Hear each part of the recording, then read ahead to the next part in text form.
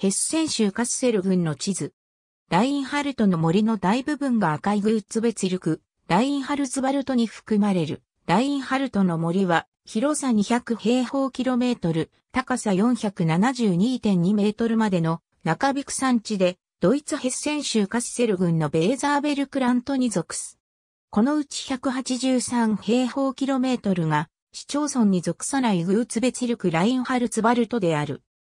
グリム童話をはじめとする数多くの物語や伝説の故郷であるラインハルトの森は特に茨姫の城ザーバブルク城で知られている。ラインハルトの森のベーザー渓谷、ラインハルトの森は北部ヘッセンの北、カッセルとバーとカールスハーフェンとの間、ハンミュンデンとホーフガイスマートの間に位置している。この森は、北と東はベーザー川に、南東と南はフルダ川に面しており、この2本の川がニーダーザクセン州との宗教を形成している。西はエッセ川、北西はディーメル川が境界となっている。ラインハルトの森はいずれもベーザー川を挟んで、北はゾリンク、北東はキッフィンク、東はブラムバルトといった中低山地につながっている。南東はフルダ川を挟んでカウフンゲンの森につながる。ラインハルトの森から南西の遠くないカッセル盆地の上にはハービヒツバルトがそびえている。森の放牧地、ラインハルトの森は大変に広大で穏やかな起伏のある、極めて森の豊かな、ほとんど無人のブンテル砂岩の高地である。高さは約200メートルから最高472.2メートルまでで、わずかに西に傾斜している。最も高い二つの山は、シュタウフェンベルクとガーレンベルクで、どちらも森に覆われている。ラインハルトの森は、広さ200平方キロメートル以上で、ドイツで最も広い森林地域の一つであり、ドイツで最も人口の少ない地域の一つである。ヘッセン州内では、最大の濃密な森林地域で、特にブナやオークが密集している。この他に広い森の放牧地もある。この森の中は、わずかな修道が通っているだけである。例えば、自転車や乗り物でヘルマースハウゼンからゴッツビューレンを経由して、インベンハウゼンホルツハウゼンまで北から南にこの森を縦断する場合、約 38km の間ほぼ完全に人里から離れた細い道をたどることになる。南部ではしばしばちょ、この時、ゴッツビューレンの他には、森の南端にあたるホルツハウゼンまで、集落はただの一つもない。森の北部をベーザールネサンス街道が、南部をドイツメルヘン街道が通っている。ラインハルトの森を縦断すると道路からは、比類のない森林風景を堪能することができる。数多くの駐車場が用意され、散策やワンデリングに供されている。休憩所には森の植生や動物あるいは歴史に関する情報ステーションが設けられている。ラインハルトの森は帝国の森であった。皇帝ハインリヒ2世はベーザー川とディーメル川とに挟まれた北端部分をヘルマースハウゼン修道院に寄贈し、南部はパーダーボルン司教領とした。最初の入植は、ホーフガイスマーやヘルシテレなどのような川沿いからなされていった。そこからどんぐりを飼料にした放牧のために周辺の森林が開拓されていった。中世世紀にはシェーネベルク家がビンツェンブルク博からラインハルトの森の霊園権を得た。初期の開拓期に彼らは当時は森の中であったディーメル川沿いの場所に村を作ることについてダッセル博から承認を得た。こうして臨地村が形成された。しかし、先行する入植地に比べて不利な一条。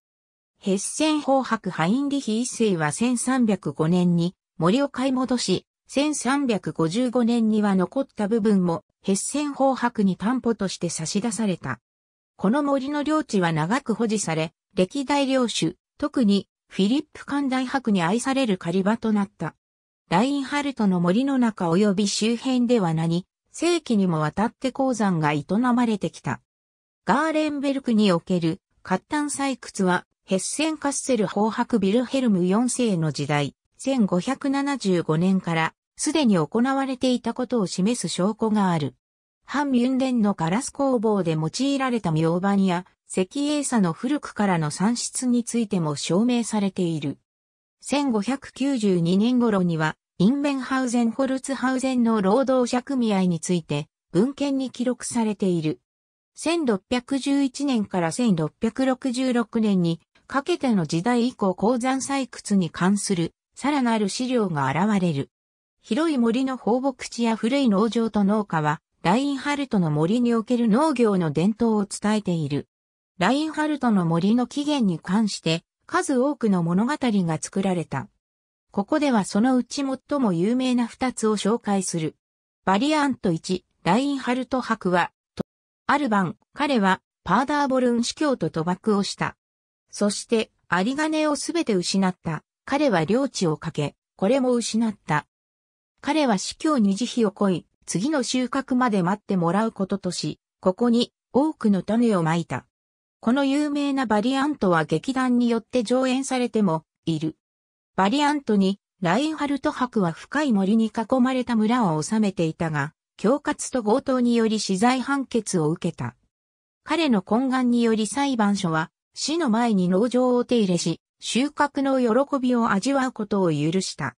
狡猾な博は村と農場を破壊し、多くの種をまいた。多くが最初のどんぐりをつける頃、彼は、とっくの昔に亡くなっていた。こうして、ラインハルトの森が出来上がったのである。茨姫の城、ザーバブルク城ウーアバルとザーバブルクラインハルトの森で、最も有名なハイキングスポットは、間違いなく、茨姫の城、ザーバブルク城である。ここには、ザーバブルク動物園も設けられている。その他には、ウーアバルトザーバブルク自然保護区が、ザーバブルクとホーフガイスマーベーバーベックとの間にある。